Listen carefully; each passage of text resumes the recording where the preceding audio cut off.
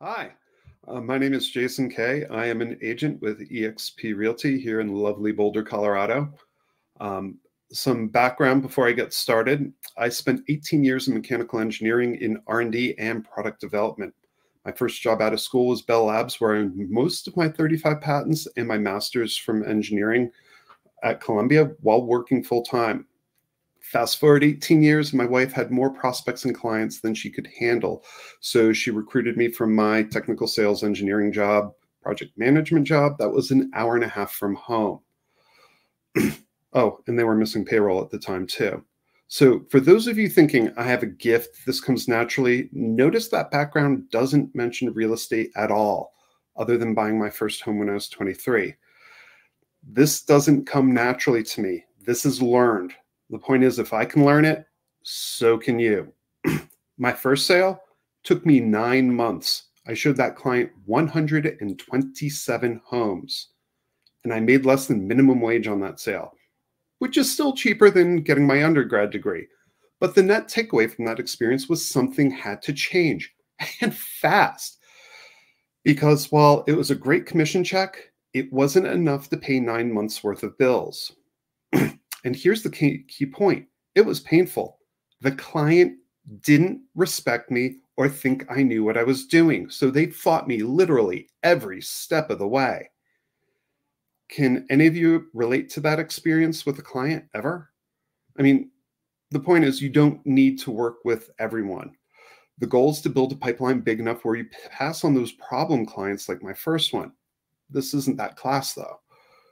So, a huge part for me moving past my first client experience was creating my value proposition. Some, okay, a big part of it was learning how to communicate because remember that piece about being an engineer? They're not known for getting their ideas across very clearly, other than on a piece of paper. So, some of it was creating a system for buyers. Some of it was, hey, what's my wife doing with listings? Can I copy that? So, you know, does this sound like what some of you actually do with your listing leads?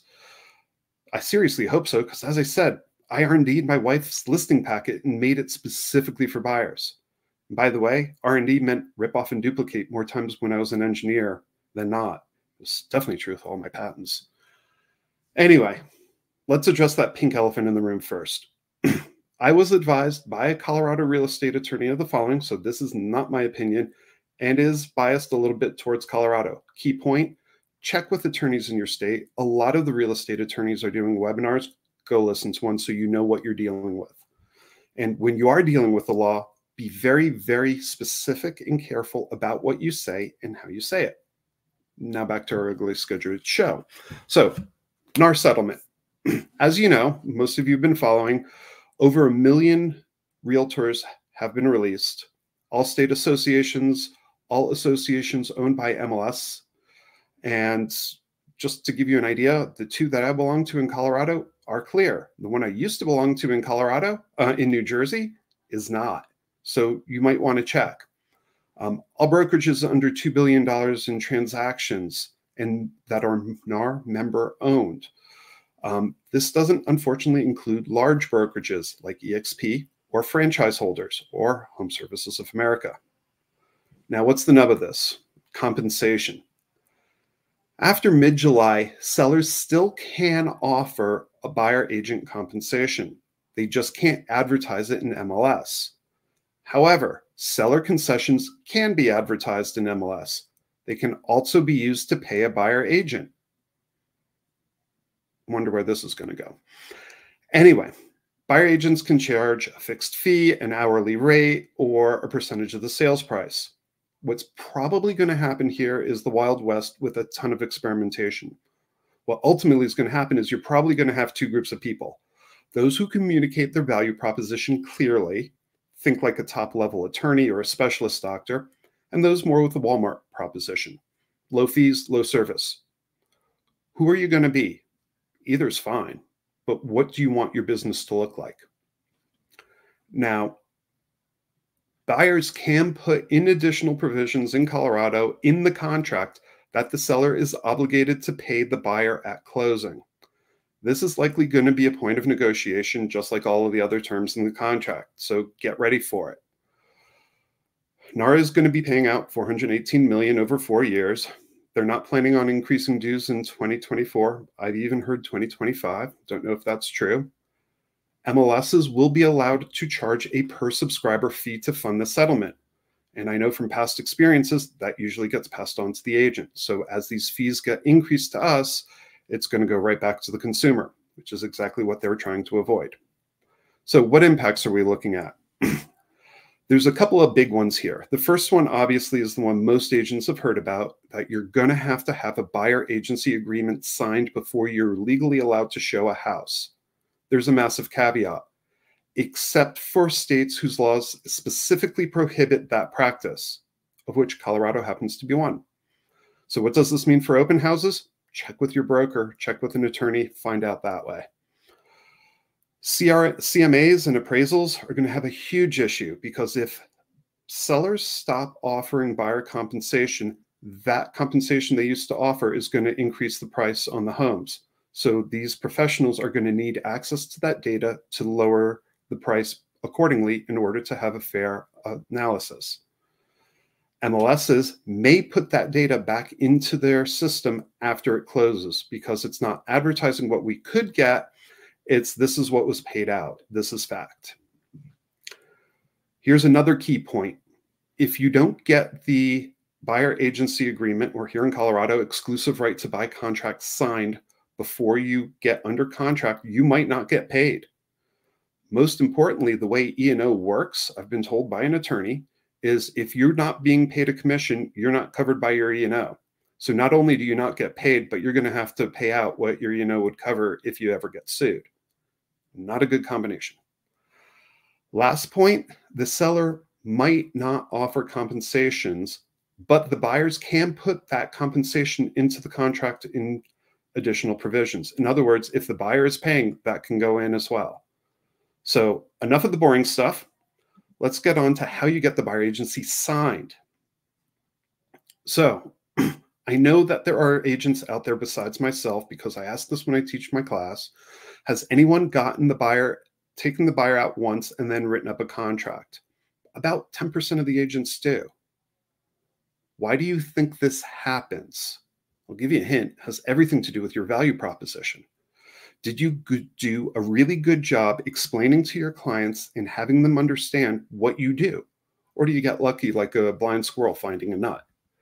So, part of this, for me at least, was knowing my numbers. How many homes do you show on appointment? How many times do you take a client out before writing an offer?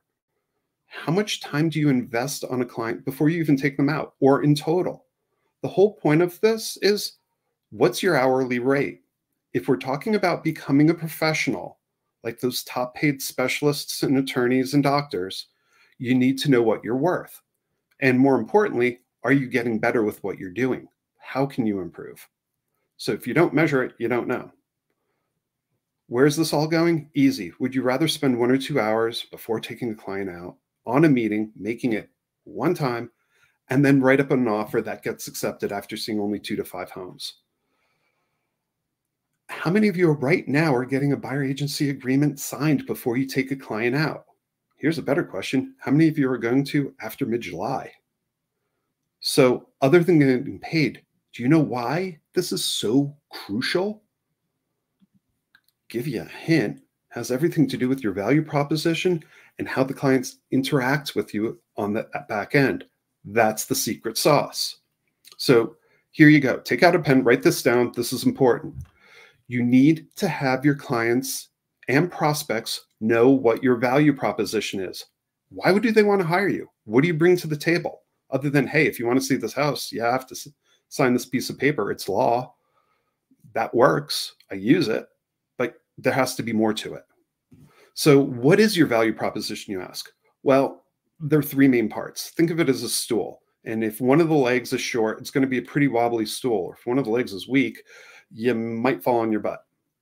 Anyway, what are these three legs? The first part set expectations and qualify. This way, you're working with clients who are serious. More importantly, they know how you work. You don't get phone calls at 10 o'clock at night. Second, do the clients understand the process? We're talking about soup to nuts, everything you offer. there's a phrase from coaching if they author it, they own it. So don't tell them what the process is. Ask them questions. Have a sheet and go, these are the steps. What do you think happens here? What do I do? Involve them in that discussion because now they know exactly what's going to happen. The third piece skills and mindset. Because if you can't say it right, if they don't hear you, if you're speaking in Italian and they only understand English, you're not going to get your point across. And we're going to, I'm going to show you what that looks like in a second. So, unsurprisingly, there is no one magic thing to make this work. As I've said, I've got a 94.6% success rate on getting buyers the first home that they look at. You know, is this a fluke? I was told by seasoned veteran agents it is. You know, it's the whole blind squirrel thing. They said that this business is not rocket science, yet it's a lot of hard work. Well, I've done rocket science, and I'd argue that this is more difficult. It is hard work, but it's very easy to become really, really good at it and to make it less hard. Over the last six years, I've been taking clients out once before they've made an accepted offer, and I've only missed twice in that time frame. One of my clients, they got cock, I got cocky, short circuited my usual process since he was a friend. I took him out three times. Twice was back to the same house. One of them was with his mom since he was a first time buyer. I think we looked at maybe five, six homes total. So not bad for a failure, right? So, how many times did I take my clients out during this post COVID insanity? How many offers did I write? Easy. Once and one. Well, okay, one client uh, was twice because they really, really loved the hope and they were hoping against hope they could get it. Absolutely maxed out their budget and they were still way under the sales price. So there's no way she was going to get that one. But she learned from that process. She's like, I know I'm not going to get it, but I will kick myself if I don't even try. Okay, fine. So she knew going in what was expected and what would take to win. Anyway, how did I do this? Well, it's easy. As I've said before and have gotten this across one or two more times, they knew what they wanted to look at. This wasn't, oh, maybe it was right. This was, I want to live in this home forever. This is it. I'll show you how I do that in a little bit, either in later in this series or in the next episode and I'll show you exactly the script I use and how to implement it. I said this before. This is important. Write this down. The most important thing, they took part in the strategy. They helped create how they're going to get their home with me. They took time interpreting the market with me. And more importantly, what that means for them and what they have to do in order to hit their goals. So, how did I do this? Part of it's instead of saying things, making that statement a question part of it was figuring out what it would take to get my clients their offers accepted. I mean, that's changed three times since that insanity. Now, I did this before I wrote the offer. Hint, big part was calling or texting the listing agent on what the seller is looking for in an ideal offer besides list price. That's my script right there. Write it down, use it. What are they looking for? because many times you can offer less money if they're looking for a quick close, all cash. Hey, we could do it in 10 days. Great. That's important. Part of this was talking to other agents outside of the area, outside of the deals, on what was working for them. This included going for drinks, coffee, really hard stuff, you know, going on Facebook, like lab coat agents, what's working for people. So that was super, super critical that got me a huge success rate and a leg up for everyone else because I saw what was working, I implemented, and it worked for me. So why am I not telling you what I did? Don't need to do it anymore in my market. And honestly, I don't know what your market is right now and what it'll take. So you need to ask around. Huge part of this, most important thing, was having my clients understand what it takes and that they hired an expert to help them get there. Don't fight me. It's going to be hard enough. So, do you ask a brain surgeon what type of scalpel they're going to use? Or uh, do you ask them what their success rate is? Are you willing to do open heart surgery on yourself to save those ridiculously high hospital costs? That's your value proposition on why your client should hire you. You know, notice I've used that phrase a lot. That is my script. This is why you should hire me. Literally. That's what I say to my clients when I take the buyer agency out slide it across the table and ask them to sign it. So once your clients understand your value proposition, they will value you. They will sing your praises to all their friends, their families, their coworkers. I mean, Joe Stumpf said it best by referral only. That's it. What can you offer them? Expertise in the marketing or expertise in the market? Knowing the common inspection issues, knowing the good inspectors, how to negotiate. Um, have you had to take a contracts class lately? Is your contract changing? Did you know FSBOs typically sell for 9% less than the market? And they have three times the litigation because the participants only sell a few homes in their lifetime versus an active professional who will sell that in a quarter or a month or even a week. Don't forget about your network of professionals that you work with. And you're continuing to stay on top of issues like this and advocacy and fiduciary responsibilities are you starting to get the point here on what your value proposition could be? Do you think you might hear this once or twice more in this session and the next session that is coming after this? By the way, do you guys just realize what I did to set your expectations on what you might hear? That's how that's done. So I took many classes over the years to be a better agent. There were really only two that were outstanding that stood out head and shoulders above everything else. And I'll tell you what those are in a minute. But do you role play? Do you use scripts? Have you internalized those scripts so they don't sound mechanical or robotic, so it doesn't sound like you're reading them? I remember my wife, she was role playing, and all, it was like a switch that got flipped. All of a sudden, I'm like, Are you on a live call? What's going? No, no, this is your role play time. And she's like, Yeah, I'm on a role play. I'm like, Oh my God, internalized. It's like that it's really amazing when it happens because once it does, these just fall out and you don't even realize they're in there. When I started to role play and learn scripts, I was awful at it. I mean, really, really bad. It's awkward. Let's face it, role play is awkward.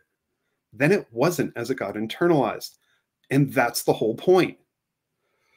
The point is, role play is to practice what you're going to say to those standard objections buyers and sellers have all gone to school for and always throw at you? Would you rather practice and get a do over or just wing it and lose a client?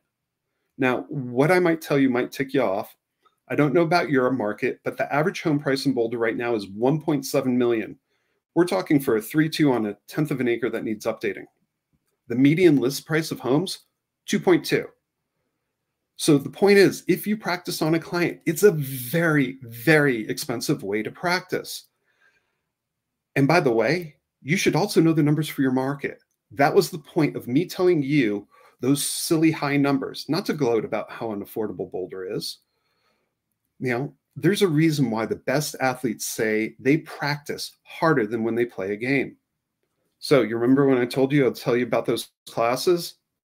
The first one's neuro linguistic programming. Um, no idea what that is? well, the main gist of NLP is it is just as important on how you say something as to what is actually being said. There are keywords, there are triggers. Many agents are uncomfortable with this. They think it's unethical. I'm imposing my will on my clients. I'm brainwashing them. The only thing this helps with is communication. Having my client hear me and understand me.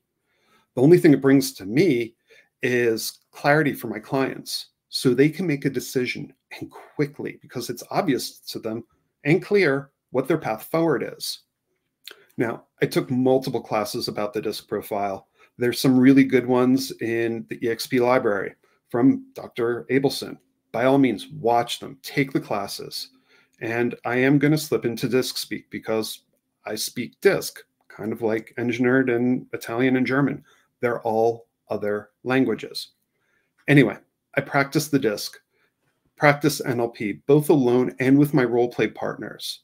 I listen to the recordings of the classes. Now, mind you, the NLP class I took was 18 weeks long.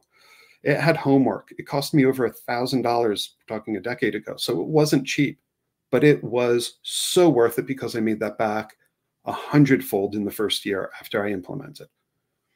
But the point is, I had to put hard work in. This isn't just watch an hour long class or two 20 minute sessions and you'll be good to go. Will it help? Yes. But if you want to become a master at this, a true expert, you're going to have to practice. And that's the point. So I did role plays I had a, eight partners over a week. One partner had twice a week. The hardest thing we did sign calls and Zillow calls. We're not talking 15 minutes and done. We're talking 30 minutes per side. So I was putting in an hour two or three times a week with this one person. Now, we practice scripts, we practice different disc profiles, we practice different objection handlers. Does this sound like, oh, I'll just give it a try? Or does this sound more like how a pro athlete would practice? You know, part of that mindset was affirmations. Seriously, engineer affirmations. But the point is, the more you look at something, the more you say something, the more your subconscious will look for ways to make it happen. There was a Stanford study that showed that the brain could handle something like, um, I think it was 40 bits per second of data in your conscious mind but your subconscious mind could handle something like 20 million bits.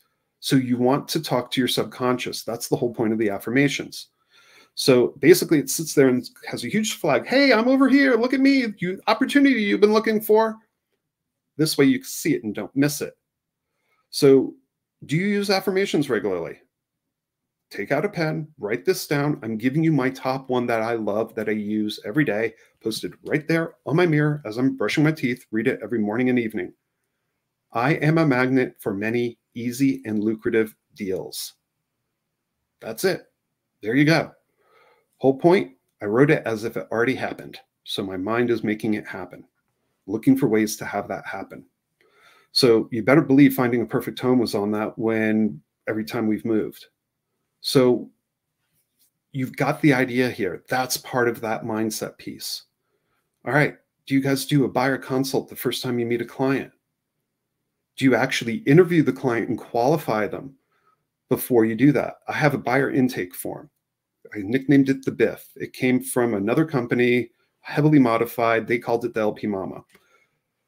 But the whole point here is I usually have a call with the client. I ask a lot of questions I put it into the CRM. Now, what's the point of this? Well, I'm trying to learn what their disc profile is on this call. I'm also trying to understand what are they looking for. More importantly, as a client is going through, I'm looking for what their hidden motivations are. I had a client told me exactly what he wanted, and when he saw it, he's like, "Yeah, it's perfect. I can't buy it." Because he had a brother who was in a wheelchair and couldn't get to the room. The point is, he didn't even think about that as being an important thing. Did I find him a house? Absolutely. Was it what he was looking for the first time? No, because you've changed his mind and what was important. Process can be iterative. But using the disc, using NLP would have helped tease that out with that client before we looked at a whole bunch of homes first. So, what's the disc? Why do you use it? Well, the whole point here is you are going to talk to an engineer differently than you talk to a CEO. They speak different languages. That's why attorneys and engineers hate each other so much, unless they're a patent attorney and then they're both. But you get the point. So, have you heard a client say they really care about the feel of the neighborhood, how good the schools are, what the neighborhood is like, what the neighbors are like? Or do you hear someone saying, I really want to see great light coming in from the home. I want to have a wonderful view. These are different ways people communicate. These are different ways they learn key in on that.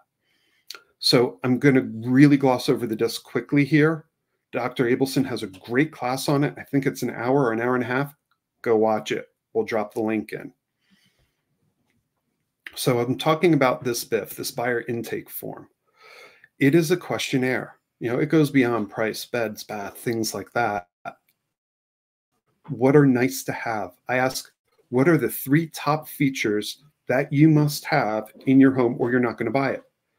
And I ask it again. If their spouse is involved, I ask them each to fill out what their top three are, then combine the list.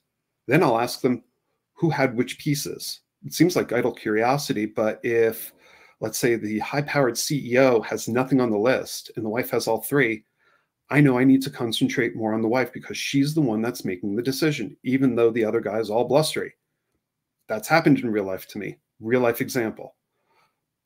Here's two scripts, super, super important to dig in.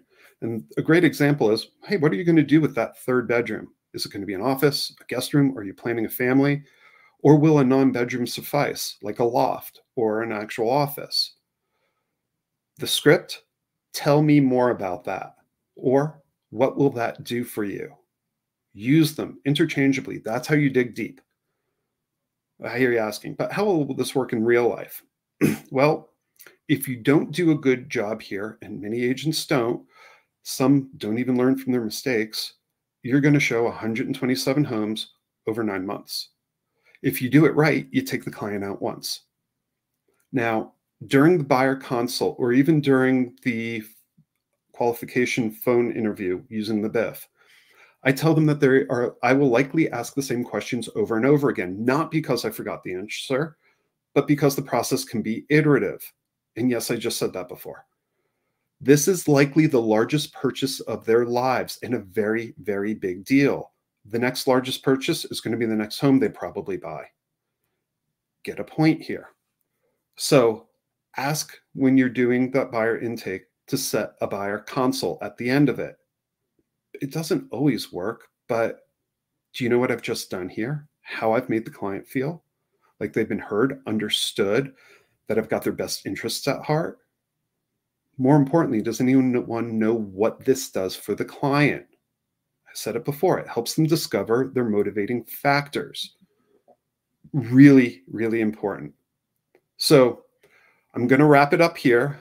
The next thing that I'm going to be talking about is how you give information during the buyer consult. It's not to give them information, but to set buyers' expectations through it and by asking questions, right? And by the way, that's how you convert a statement into a question or by telling stories. So, congratulations. You've just got the full ingredients list. Next up is the recipe on how you pull all these pieces together and make a wonderful buyer experience.